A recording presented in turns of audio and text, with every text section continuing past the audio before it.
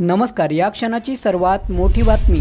ठाकरे आणि शिंदे गटातील सत्ता संघर्षामध्ये ठाकरे गटाच्या बाजूने निकाल लागणार. भाजप आणि शिंदे गटाच्या लक्षात आल्यानंतर मंत्रालयात फायली मंजूर करण्यासाठी लगबग सुरू. या मोठ्या नेत्याचा धक्कादायक खुलासा. राजकीय वर्तुळात एकच खळबळ. सविस्तर माहितीसाठी व्हिडिओ शेवटपर्यंत नक्की पहा. व्हिडिओ आवडल्यास लाईक करायला मात्र अजिबात विसरू नका. दरम्यान गेल्या काही दिवसापूर्वी ठाकरे आणि शिंदे गटातील सत्ता संघर्षाची संपूर्ण सुनावणी अखेर आता सुप्रीम कोर्टामध्ये पार पडली आहे.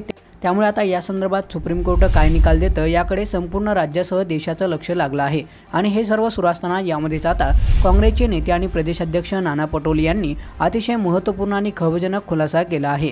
दरम्यान या संदर्भात प्रसारमाध्यमांशी बोलत असताना नाना पटोले यांनी ठाकरे आणि शिंदे यांच्यातील सत्ता संघर्षाचा निकाल हा ठाकरे गटाच्या बाजूने लागणार असल्याची चाहूल आता भाजप आणि शिंदे गटाच्या नेत्याला लागली आहे आणि त्यामुळेच आता राज्याच्या मंत्रालयामध्ये राज्य सरकारच्या प्रमुख नेत्यांची लगबग सुरू झाली असून आपापल्या जुन्या फायली लवकरात लवकर मंजूर करण्याची तडफड राज्य सरकारमधील नेते करत असल्याचा दावा यावेळी नाना पटोले यांनी केला आहे. एवढंच नाही तर साधारणतः सरकारचा कालावधी संपताना किंवा सरकार जाऊ शकतं अशी वेळ येते तेव्हा ही लगबग सुरू होते. आणि आता तशाच प्रकारची लगबग ही शिंदे फडणवीस सरकारमध्ये पाहायला मिळत आहे कारण मंत्रालयामध्ये आमदार मंत्री आणि नेत्यांची रहदारी वाढली असून आपापल्या फाईल मंजूर करण्यासाठी संपूर्ण नेत्यांनी धडपड सुरू केल्याचं पाहायला मिळत आहे. त्यामुळे राजकोतोमध्ये एकच खळबळ उडाली असून ठाकरे आणि शिंदे गटाच्या सत्ता संघर्षामध्ये खरंच निकाल नेमका कोणत्या बाजूने लागतो हे पाहणं महत्त्वाचं ठरणार आहे परंतु त्या अगोदर राज्य सरकारमध्ये ह्या घडामोडी घडत आहे.